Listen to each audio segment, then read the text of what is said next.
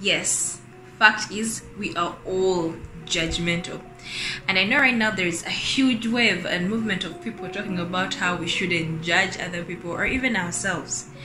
But has anyone ever shared with you the practical ways on how we can actually stop this habit and why it even happens in the first place?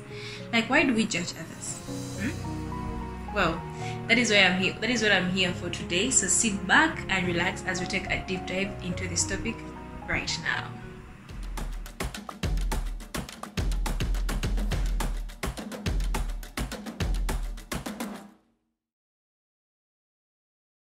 So basically, we are going to begin with why we actually judge other people. And believe me, there are so many reasons as to why we do this. But today, I'm going to share with you only three reasons. So the first reason as to why we judge others, and I think, to me, I think this is funny, yeah, but it's a fact, it is true, is that we think that we are better than them. We literally think that we are better than this person that we are judging. See, for example, let's say someone makes a mistake, right? The quote that everyone is human literally goes out of the window, and we start judging this person based on our own circumstances, situation, and environment, which is completely unfair because right now at the moment we are we are in different situations, and at that we are from different backgrounds.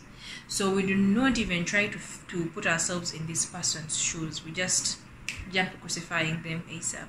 Now, reason number two, and if you have actually noticed, us being judgmental is a way of reflecting or deflecting our own insecurities onto this person that we are judging.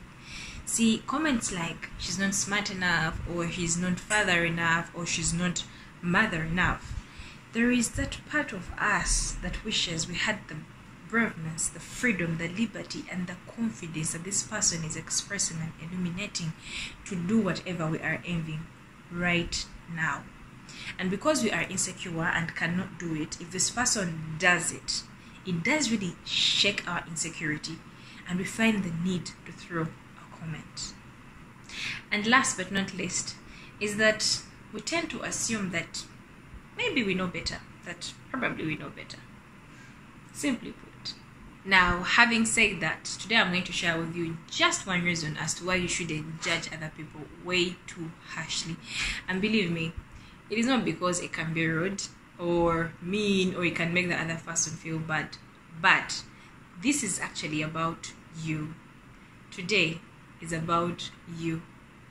Probably by now you've heard about something called negative thoughts. And I bet you've gone through a couple of these harsh things and thoughts that you tell yourself, right? Now, allow me to share with you something very interesting today. Hmm? If you have noticed, or let's say you have it, and I challenge you to go back and observe this phenomenon I'm about to explain to you right now. Each time you sprout harsh, mean judgments and comments towards other people without understanding and compassion, believe me, you are going to do the same to yourself. You will have a harsh self talk towards yourself. And believe me, it is not because we, we don't love ourselves, of course we do. But the things that we consistently say get embedded onto our brain to the point that it thinks that it is normal, and at the end of the day, we are attacking our own selves. So, in other words, the negative that I talk, the negative that you talk, the negative that we talk about others, these words get embedded onto our subconscious due to the repetition, and thus we start to attack self. Alright, by now I know you must be wondering. Okay, Aisha, how do I clear this negative talk and, you know, stop judging others and I can stop judging and attacking myself? Alright, so now that you insist, there is this one thing that you can try, and that is start by lowering your gaze. It's that simple. Just lower your gaze.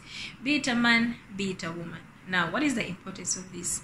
Number one is that it helps remove your focus from this person and onto something else, and thereby preventing the generation and building up of any judgment or negative thought towards this person. And for my Muslim brothers and sisters, you can always say tasbihat or A'udhu Billahi Minash Shaitanir Rajim whenever uh, judgmental thought does appear in your mind.